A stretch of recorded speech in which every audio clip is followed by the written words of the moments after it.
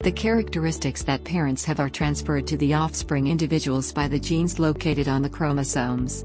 The transfer of the properties of a living being to the offspring is called heredity, and the properties that can be transferred from generation to generation are called hereditary properties.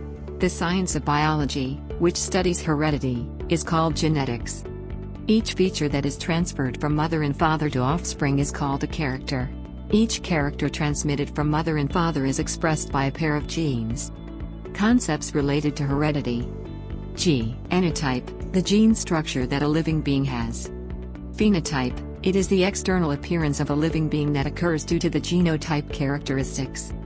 Dominant gene these are the genes that ensure the appearance of their own characteristics in each case.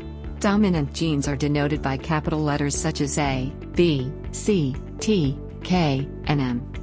Recessive gene these are genes that cannot show their own characteristics when found together with the dominant gene. Recessive genes are denoted by small letters such as A, B, C, T, K, and M. Pure Decubitus, homozygous, a structure formed by the coexistence of two genes of the same property.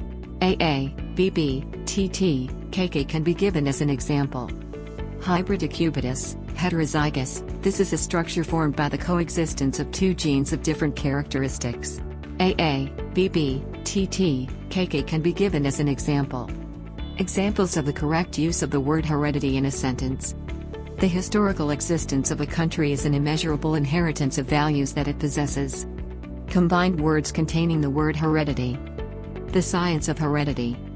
Other questions that users are wondering about. What is heredity so short?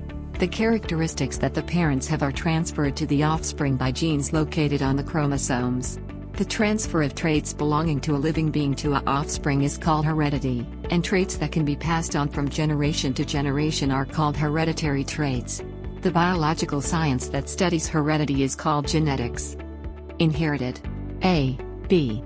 The historical existence of a country is an inheritance of immeasurable values that it has, soy, IRS, dignity, inheritance, the fact that traits that cannot be radically changed by environmental influences pass from one generation to another through the chromosomes of females and males during fertilization. M. Siondi. What does genetics mean? Genetics is the science that studies genes and their functions or disorders. For example, hereditary diseases, such as Mediterranean anemia, are studied in the science of genetics. All genetic information, including DNA and RNA, is called the genome. All the genetic material in the structure of an organism is called a genome material.